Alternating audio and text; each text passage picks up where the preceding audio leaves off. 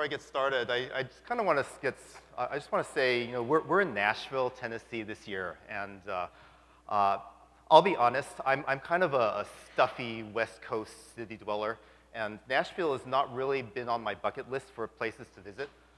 Um, it was not really on my radar, but since the conference was here this year, I uh, uh decided to come a few days early. So I, I, my wife and I came uh, on Friday, and we we got a chance to, to check out the city, check out some of the venues, uh, check out some of the music.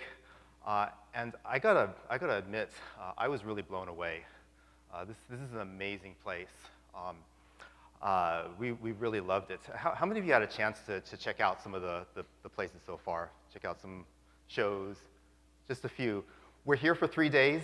Uh, that's, that means several evenings. And so I really encourage you, if you, you get a chance, uh, go out and check out the city. Go out and, and, uh, and just, just walk into pretty much any music venue, any, any jazz club, anything. Uh, you won't regret it. You, you won't be disappointed. Uh, there's, a, there's, some amazing talent in this city. Um, so uh, that's, anyway, that's, that's enough uh, sermon from me. Um, we, we're going to have a gripe session today. Gripe session, yeah, that's right. Um, we're going to gripe about Ruby and DSLs. Uh, and again, for those of you just coming in or those in the back, please move forward. There's a lot of, uh, there's plenty of open seats and there's a lot of code on these slides. And so uh, it'll be good to, to get uh, closer so you can see. So not long ago, I had to write uh, a Sinatra app for my day job. Uh, this is kind of a simplified view of what the code was. Basically, its job was to invoke a shell command and capture its output. Uh, and then kind of format that output as JSON and send that as the response. Right? So really simple, straightforward app. I figured, hey, I've, I've done Sinatra before. What could possibly go wrong? I tested it uh, locally just to make sure. And as it turns out, there was a bug. Can anyone see the bug? Anyone see the bug? Raise your hand if you think you know what the bug is. Okay few hands, a couple of hands up. If you have your hand up, I might call on you, so. Uh, okay, for the rest of you, here's a hint. This is the stack trace that you get. Anyone see it? Who thinks they know what's, knows what's going on? Okay, no one's hand is up now. Okay, what, what do you think is happening?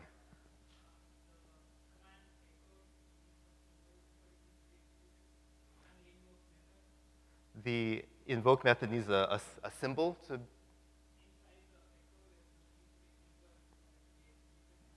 Oh, inside the echo.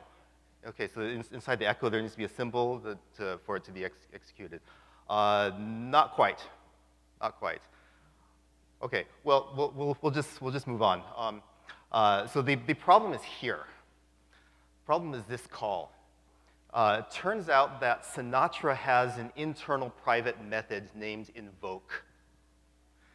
And so this line here actually calls Sinatra's method, not my helper method that I have there. Of course, you know, it's a bit tricky to, to, to see that, right? the, the, the, calling conventions don't match up. We get this obscure exception here that's hard to parse. Uh, it's, it's hard to know what's going on unless you dig into Sinatra's source uh, and you understand what its DSL is doing. Uh, now, it's not my point here to, to pick on Sinatra. Uh, th this happens a lot in Ruby uh, across, many across many libraries, especially when DSLs, domain-specific languages, are involved. So we're going to spend this session griping about this. We're going to spend the session talking about this. We're going to look at how DSLs work. We're going to see why some ordinary Ruby code can sometimes make DSLs go wrong. And then we're going to study some techniques that you can use to kind of help harden your DSLs against problems like that. Okay? Uh, quick intro before I get too far. This is me. My name is Daniel Azuma. Uh, I've been a Rubyist since uh, about 2005-ish, uh, right around the time that Rails 1.0 came out. Uh, I've done a variety of things, done some Rails startups. Uh, currently, I work at Google Cloud. Uh, I'm a Ruby engineer there. We don't do a whole lot of Ruby at Google, um, but uh, there are several of us uh, that, uh, um, a bunch of us that, that work there. Uh, And a lot of us, what we do is we're kind of consultants uh, for Ruby's or Google's engineering teams. Um, so that's a lot of my role. My role is to kind of go to the, the engineering teams that are building Google Cloud and help them tailor their products for our needs as Ruby developers, uh, to help them understand our idioms, uh, our tools, our practices, uh, so that Google's Cloud will work well for, for Ruby developers. So today, what we're going to do is we're going to talk about some Ruby practices uh, around DSLs. And I'm going to take a stab at defining DSL uh, before we get started. The, uh, uh, the talk previous to this uh, went through a, a lot of uh, definition time. and definitions are important, especially when you're talking about some of these things, because as the, as the last speaker mentioned, Ruby sometimes has different concepts, so the concepts work slightly differently in Ruby than in other languages. when I speak of DSLs, I'm talking about bare methods that are not part of core Ruby. Bare methods. So what does that mean? Bare methods, uh, I mean methods that don't need a receiver object to be called. So methods like puts or sleep uh, that, that look like commands in Ruby. Uh, so those kinds of methods, but methods that are provided by a library. They're not part of the, the standard library or the core of Ruby, but they're part of uh, a, a kind of an external library, a third-party library. So DSLs, uh, they, they're very useful. They can make for some very nice, uh, expressive, uh, concise code. Uh, looking back at our Sinatra example, that get method there is uh, called without a receiver object. It's called at the top level, uh, but it's being used as if it were, being, it, it were part of core Ruby, right? But it's not. It's part of the Sinatra DSL. Now, how does Sinatra accomplish something like this? Sinatra adds this method to the main object. The main object. This is an object that is considered to be self when, uh, when you're at the top level of a Ruby file. So every Ruby application has one of these objects. And we'll talk about this more in a bit. But first, here's another example of a DSL. This one's from Rails. Who's a Rails developer here? Okay, a lot of us. That's right. Um, a lot of us came to Rails, came to Ruby through Rails. That's, that was my story. Um, and I know a few of us like to bash on Rails a little bit, uh, just because it's, you know, it's big and, and, and bashable. Uh, but really, it, it's, a, it's a nice, solid library. It's a nice, solid framework, and that's why a lot of us use it. Uh, and one of the reasons uh, it works so well is because of how strategically it uses metaprogramming and DSLs internally uh, to be expressive. Uh, and so here's an example from Rails routing. Uh, I copied this uh, directly out of the Rails routing guide here. Uh, and again, we have methods that are being called without a receiver, and those aren't part of core Ruby. Those are methods that are defined on a mapper object. it's, in, it's a class on, in the router section of Action Dispatch. So when you call routes.draw in your routes file, and you pass it a block, that block gets executed using a Ruby construct called instance eval. Uh, so within the block, what happens is self, the, the current Ruby object, gets set to another object. In this case, it gets set to a mapper object. And so within the block, self is set to the mapper, and you have access to all the mapper's methods, like resource and resolve. So setting self within a block uh, or adding methods to an existing object. These are uh, two useful techniques. Uh, a lot of, lot of DSLs basically boil down to one of these, these two techniques. Uh, they make it look like we're extending the language, uh, extending Ruby. But despite that, it's important to realize that it's still Ruby. We're still writing Ruby even though you have a DSL and it might appear to extend the language, uh, creates new methods that are kind of look like they're part of core, uh, you're, you're, still, you're still writing Ruby. And you know what? Users of your DSL know that. Right? They're still going to be writing Ruby. Even when they're coding to your DSL, they're still going to expect to be able to write Ruby. They're still going to expect to be able to define classes, define modules, uh, write uh, methods, call methods, all the stuff that they expect from Ruby, they're going to expect to be able to do in your DSL. So as a DSL writer and as a DSL designer, it's important that you have to plan for this. Right? This doesn't always come for free in Ruby. You do have to be intentional uh, about making sure that Ruby works well in your DSL. So we're going to look at a bunch of examples, uh, and to illustrate things, we're going to create a little straw man DSL. So here's some, uh, some example code. I'm going to call this nanospec. Uh, who, who, here uses RSpec? A lot of us use RSpec or, or Minitest spec, which is uh, Minitest uh, implementation of it. Uh, RSpec is a testing framework, uh, very, very well used, as you, as you saw. Nanospec uh, is just going to be a really tiny subset of RSpec. Uh, here's what you can do with it. Basically, you can create describe blocks, and within those, you can create specs and add code to them. And that's it, nothing else. So no expectations, no mocks, no reporting, uh, just describe and it. So implementing this uh, is not too hard. We'll see the code right here. We'll start by adding a describe method to the kernel module uh, so that it can be called from the top level. So we've got a describe method. Now each describe method takes a block, and that block represents some entity that we're testing. So we'll create a class for that entity. We'll call it entity. And each time we call describe, we'll create an instance of, uh, of entity. All right? Now, describe takes a block, uh, so we'll use instance eval to run that block inside the entity object. Uh, and so that when the user calls it uh, within that block, entity is what implements that method. Right? So we'll just fill out the implementation here. We'll, we'll, we'll collect all the specs, uh, store them in memory, and then we'll provide an at exit block so that after, uh, after all the specs are defined, uh, it goes through and runs all of them, uh, and that's it. We have a test framework in 20 lines of code. So very simple, very straightforward. What could possibly go wrong? Turns out quite a lot. So here's a simple example to start us off. Suppose I want to use an instance variable in my spec. Now this is Ruby. We use instance variables all the time. Uh, if this were RSpec, uh, a very common pattern is to have before blocks that initialize things and then pass information into your specs using instance variables. So very reasonable to do this.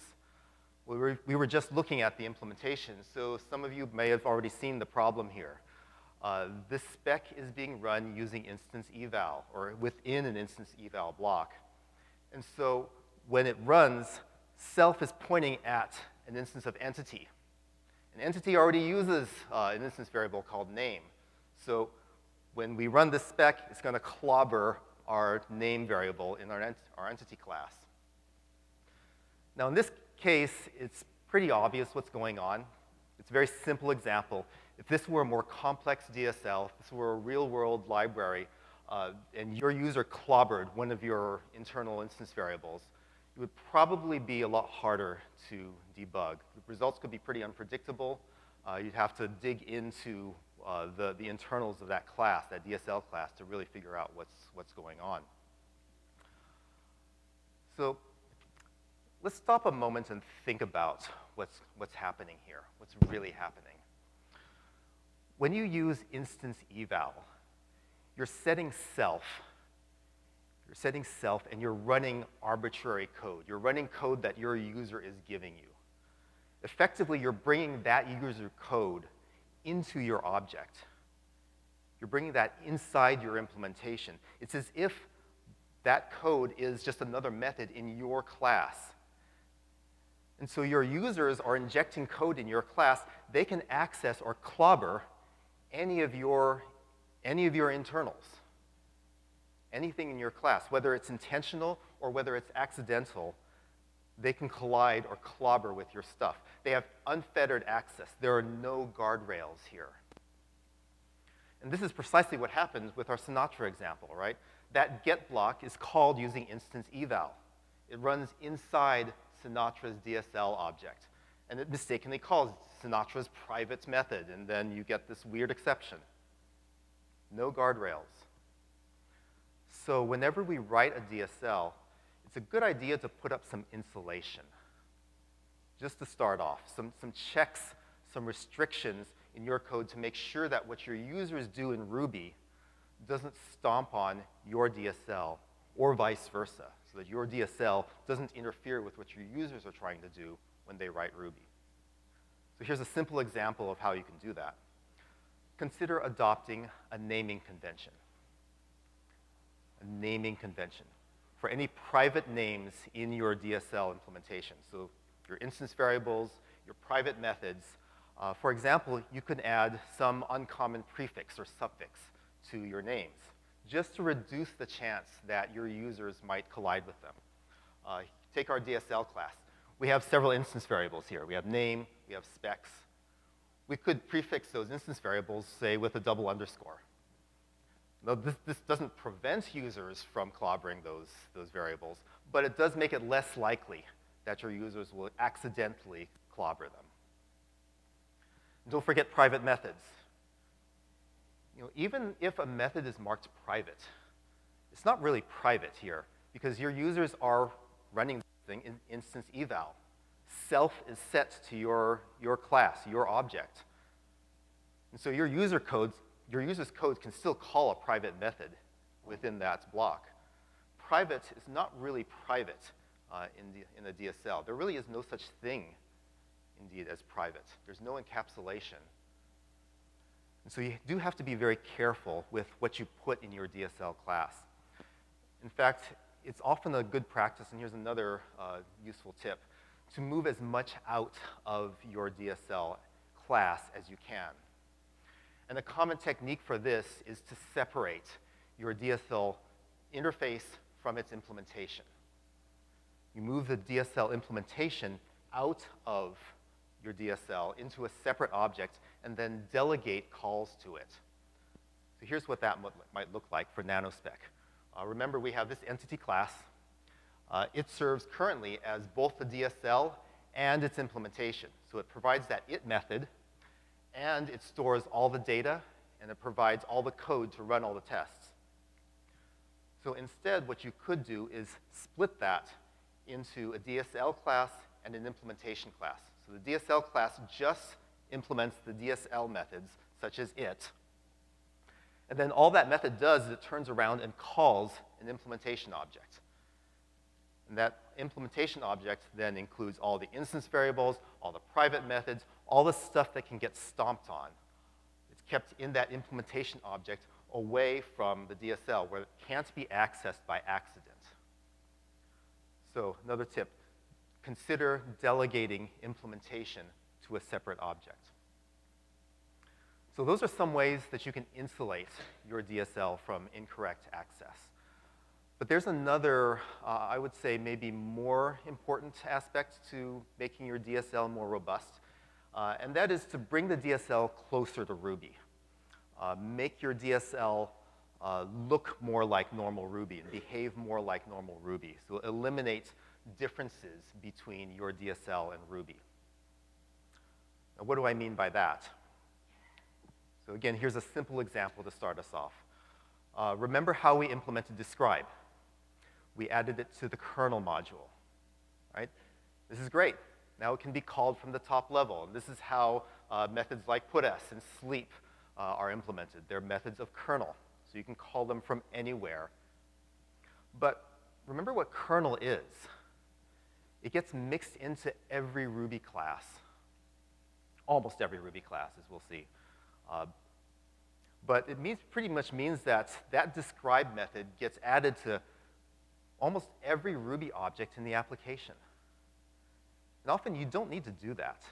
You don't need a describe method on every object. Indeed, doing so increases the risk that something might go wrong because other classes in the application don't expect that describe method to be, to be present.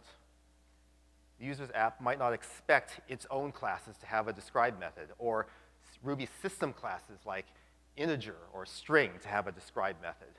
And so by adding them to kernel, we've modified more than we intend to. We've modified more than we need to. Uh, and that increases risk.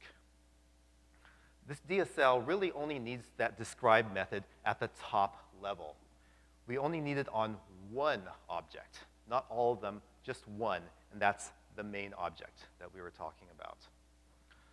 So don't add it to kernel. Just extend the one object that you need it on. Just extend that main object. So that's what we've done here. We're extending the main object with, uh, with a module that contains that describe method. So another tip, minimize the scope of your changes. Add methods only with, when, where they're actually needed. Change as little as possible. Most, uh, most DSLs do do a reasonable job of this. Uh, there are a few exceptions. Uh, I'm looking at you, Minitest. Um, but generally, you know, this is a very important, uh, very important tip. There is more to it than that, though. We were talking about bringing a DSL closer to Ruby. Uh, and that means minimizing changes, but it also means paying attention to the DSL design, making the DSL's design look more Ruby-like, uh, making it fit into a Ruby context. Now, that's kind of hand-wavy, so let's unpack this a bit. And to do that, we're going to take a look at another issue that comes up uh, all the time when we use DSLs, and that's helper methods. Right? As Ruby developers, we like short methods. Short methods are readable, they're more testable. Your users are going to want to write short methods, and that means they're going to want to write helper methods. They're going to want to decompose their logic. Now, when a user decides they want to use your DSL, and they need to write helper methods, where do they put them? Where do helper methods go here? Ruby methods belong in classes or modules, right? We all know that. So what do, we, what do you do if you're using a DSL like this? It has blocks, but no classes or modules. If I define a helper method, where do I put it? What class does it actually end up connected to? How do I call it? Can I call it? This is one of the big challenges of DSL. You're removing Ruby code from their normal context uh, in, as uh, parts of modules, parts of classes. And this creates some ambiguity in the usage. So let's explore this just a bit. Uh, in many cases, what actually happens, uh, what users will actually do is define helper methods at the top level uh, of the, of the Ruby file. So if you're, if you're writing a Sinatra app or, or a rake file or one of those, uh, those DSLs, uh, typically this is what you've done, right? You, you, you write the, the, helper methods at the top level. Now if we do this, where does that method actually end up? It's part of a class. Object, correct. By default, when you define the method at the top level, it becomes a private method of the object class, okay? Uh, now, since object is a base class for everything, including your DSL class, this actually works out. Your users call their helper method, and it looks like they're calling it directly. Like it looks like this is just a direct method call, but actually, it's, if it's in instance eval, it's being called through the DSL class, your DSL class. And so the method call is going through there, then it's going down to the, uh, the, the superclass, which is object, and, and uh, then it finds the method there. So it just kind of happens to work out but it's a little bit roundabout. Now, this ha does have an important implication, and that's basic object. Basic object is intended as a blank slate class, so it has far fewer methods than objects. And that means, uh, for some of us, it can be tempting to use it as a DSL class. Don't do this, because it does not include that user's helper method that helper method is defined on object, not basic object.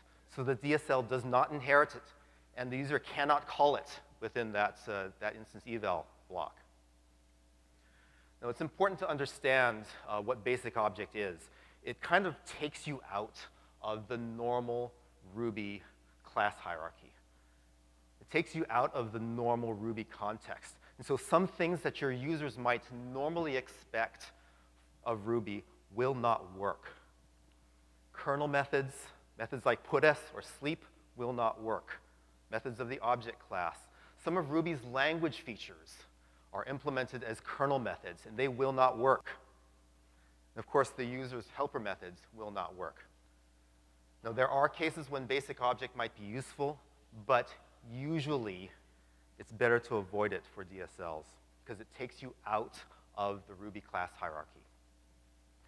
It increases the difference between your DSL and normal Ruby. Okay? So let's go back to our helper method. What if we move this helper method here, inside the block? So defining a method inside a DSL block, what would happen? What would happen? What would a user expect to happen if you did this? Again, methods are usually defined in classes or modules, not blocks. So we have an ambiguity here. Now, I would argue that for the most part, uh, developers expect lexical scoping when they work with blocks. They expect lexical scoping. They expect methods to be visible based on the lexical structure of their code. Right? So it's useful to know, uh, useful to do as much as possible uh, honor lexical scoping. Honor lexical scoping whenever you design, when you, whenever you implement a DSL. Now, unfortunately, in Ruby, uh, this does not always come for free. Uh, local variables are lexically scoped by default, but methods are different. Uh, you don't always get them for free. So, so let's dig into that a bit.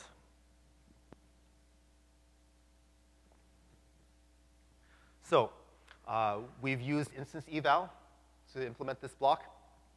In general, if you use instance eval, any methods defined in that block get added to the singleton class of the DSL object.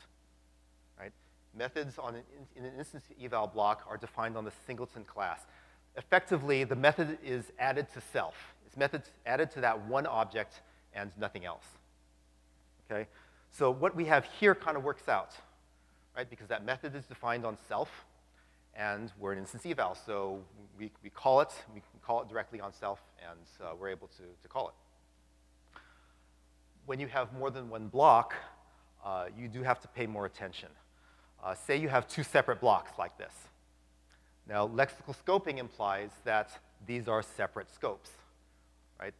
Lexical scoping implies these are separate methods in separate scopes, and they only apply within their block. So you need to, be, you need to make sure that you implement that. Uh, make sure that you have a separate DSL object for each block so that you end up with those separate scopes. Don't reuse that, the, the same DSL object or those two methods will collide, uh, and users don't expect that. They expect lexical scoping. What about nested blocks? Now we're starting to get a little more tricky. Uh, both RSpec and Minitest support nested describe blocks. Uh, so it is important, it is an important use case. But it's kind of tricky. That inner block needs to be able to call a method defined in the outer block. Uh, so in this case, try speaking is defined in outer. You expect to be able to call it from inner, uh, but uh, not vice versa. So if you defined that method in inner, uh, you would not be able to, to uh, you would not expect to be able to see it in outer. So that means you still cannot reuse the same DSL object for those two, those two blocks. But still, the inner block somehow needs to be able to access methods uh, defined on the outer block. Uh, one approach to solving this is to delegate method calls uh, from the inner object to the outer. So you can use something like method missing, uh, or you know, there, there, are various techniques to, to delegate method calls. So if your inner DSL object doesn't understand the method, you should delegate it to the outer DSL method, or DSL object. Or uh, another option, uh, we'll talk about classes next. Uh, if you're using classes, you can have the inner object subclass the outer object. Now, either way, Ruby doesn't give you this behavior for free. You, have, you probably have to do this explicitly. Your DSL needs to be intentional about implementing lexical scoping when it comes to methods. Here's another useful technique. Model classes in your DSL. Model classes. Classes. This is kind of what RSpec and Minitest actually do uh, for uh, for describe blocks, not exactly, but close. Uh, they model describe blocks so they resemble classes. Then for each test, uh, they create a new instance of that class, and that isolates tests from each other, right? So it's a, it's a very useful technique. But what's really nice about this is it makes it obvious how helper methods should behave. Like if, if a describe block is a class, then that method is just a method of the class. However, once again, you don't necessarily get that for free. You have to be intentional uh, about it. For example, uh, in this case, you might need to use class eval rather than instance eval to, just, to execute that describe block. Um, that's to make sure those helper methods are added as normal methods and not as class uh, methods, as single, not as singleton class methods. Uh, if you've ever wondered about what the difference is between instance eval and class eval, they both set self, uh, but they differ in how they treat method definitions inside the block. Uh, so if you're writing a DSL, it's important to understand that difference uh, and be intentional about using the right construct. Okay? So in general, modeling DSL blocks as classes uh, is often a very useful technique. Uh, again, because classes are a Ruby concept. Classes are a Ruby concept. If you model classes in your DSL, it brings your DSL closer to Ruby. It reduces confusion, it makes it more obvious to your users what's going on. And it can make it easier for you as an implementer to avoid corner cases. Now, a little side note here, uh, constants. Constants raise some of the same questions as, me as method definitions. You know, they're attached to modules or classes usually, so if I define a constant, where does it go? Will I be able to access it? Unfortunately, constants are kind of a pain. Uh, they're not affected by instance eval. They're not affected by class eval. You really can't control very well where they end up. Uh, in hindsight, they probably should have been, uh, but it's not how they work. Uh, so the upshot is uh, generally constants cannot be made to avoid, uh, to be made to obey lexical scoping using techniques that we've talked about. So these two constants here, they're in different blocks, and they appear to be in different scopes, but actually they're not. They're not. They both behave as if they're defined at the top level uh, on the object class. Uh, in fact, that second definition is going to trigger a warning because you're actually redefining the constant there. And that's confusing. That's confusing, and, and really there's no way around it. Uh, at least there's no good way to fix it. There might be ways that you can hack uh, using eval and some, uh, and some code, code generation. Uh, but really the advice that I would give uh, when dealing with constants is actually to discourage your users from using them. And a good way to do that is to provide alternatives. Uh, provide another way to do the kinds of things that you'd normally use constants for. Here's an example from RSpec. Uh, RSpec provides a construct called let. And let gives users an alternative to creating constants. You know, there's an idiomatic alternative, uh, and indeed a better one because it does lazy evaluation. Right? So provide alternatives. Uh, you know, to be honest, Ruby constants are kind of a mess. Uh, always have been, especially in the context of a DSL. Uh, so the more that you can guide your users you know, using alternatives or, or, other mechanisms, uh, more that you can guide your users to avoid them, uh, I think the better off that you'll be. All right, so we've talked about a number of issues here. Uh, we've talked about ways to insulate your DSL from Ruby. Uh, remember, with a DSL, there's no such thing as private. So separate your DSL interface from its implementation. Use a naming convention for instance variables or private methods. We also talked about designing your DSL to look and behave more like Ruby, more like normal Ruby. So we talked about changing as little as possible. We talked about adding methods only where they're needed. We talked about helper methods, uh, designing for lexical scoping, avoiding basic objects. We talked about modeling familiar Ruby con uh, concepts like classes in your DSL, just to eliminate some of that difference, that cognitive difference. And it's important to make your DSL more Ruby-like. In fact, personally, I don't really like the term DSL. I used to use it a lot. Uh, I, have I've written a fair number of DSLs uh, in my time, uh, both for just application development as well as for libraries. I used to call them DSLs. These days, I prefer not to say domain-specific language uh, because we're not writing a language. We're not really writing a language. We're writing Ruby. We're always writing Ruby. We're creating DSR, domain-specific Ruby. We're still writing Ruby. I think it's very important to keep that in mind as we do this. Ruby's metaprogramming techniques uh, are very, very powerful. They're very, very useful. But the more we treat them as a separate language, the more we try to divorce it from Ruby, uh, the more we open ourselves up to a lot of risk. Uh, and I, I don't think that's really necessary. So instead, think of it as just Ruby. When you design your next DSR, think about how you can make it look like Ruby. Think about how you can make it smell like Ruby. Don't stray too far from Ruby idioms, Ruby concepts, Ruby constructs. Model it after Ruby. And I think you'll find that you'll end up with a much more robust uh, and a much less confusing experience for your users. Thank you for coming.